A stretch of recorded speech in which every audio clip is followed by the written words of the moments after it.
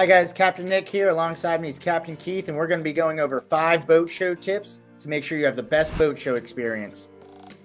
Number five, make sure to have a plan, kind of understand the layout of the show so you can get to see everything that you want. Number four, shoes. You need good shoes, good for walking, but more importantly, good for kicking them off because you're going to want to kick these shoes off when you're hopping on boats and viewing them. Tip number three, make sure to wear sunscreen. Florida sun can be hot no matter what time of the year, the UV rays, so make sure you stay protected. Number two, drink water, stay hydrated. I know that a lot of people are going to want to be going to the bar, drinking beer, drinking alcohol, stay hydrated. You're going to be sweating. A lot of these boat shows happen in the warmer months of the year, and it's very important to drink that water.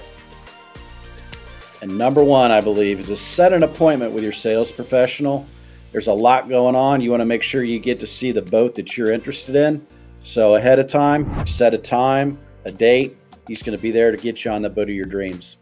Boat shows can be a very big and confusing place. Using these five tips can make sure that you have the best boat show experience possible. So once again, I'm Captain Nick here. This is Captain Keith. Join us every single Monday at 3 p.m. for Boating Tips Live, and we'll see you out on the water.